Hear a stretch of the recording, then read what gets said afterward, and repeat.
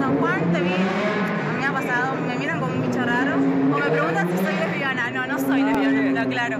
Eh, eh, es algo súper raro, sí, de ver, pero en otras provincias es algo normal. Y nada, decirle a muchas chicas también que yo he tenido amigas que les gusta, eh, que se animen porque es algo muy lindo y es algo que no te hace rara, te hace única.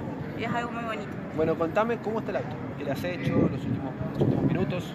Eh, torquear ruedas, calibrar las libras, colocar sensores, eh, ver que todo esté en orden, bueno, siempre la limpieza es fundamental. Lo que yo más he hecho ahora en el tema, en el tema de ruedas, bueno, las ruedas son sumamente pesadas.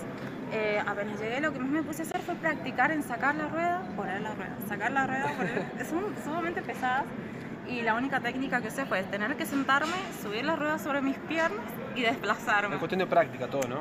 La maña puede más que la fuerza y eso es algo que todas las mujeres lo tienen que saber, que es así. O sea, no hay con qué darle. Vos te das maña y no te hace falta tener músculos para poder sacar una rueda. O sea, son sumamente pesadas, pero un pan comido sacarla. O sea, es un bolazo. ¿Y el motor cómo está? De motor, bueno, nosotros de eso mucho no nos manejamos, en realidad se manejan lo que son los hombres, los compañeros, todo eso, pero está perfecto. Por lo que tengo entendido está todo joya. Eh, creo que no hay problema de nada, creo que está todo bien. Bueno, muchísimas gracias y que sea un buen debut en esta Muchísimas mecánica sanjuanina, la primera en la provincia de Neuquén. Bueno, muchísimas gracias a ustedes por la.